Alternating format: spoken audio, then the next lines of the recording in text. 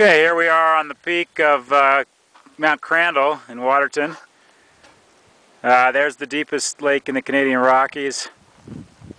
Out there, Mount Cleveland in Glacier Park, highest peak out there. Panning across. If you can see a little lake out there, I think that's Alderson. Not 100% sure. Moving across, we got uh, Lyman Mountain, Lyman Peak, and uh, Blakiston, the highest in the park. And here's the uh, radio tower, whatever this thing is. There's Kenny again.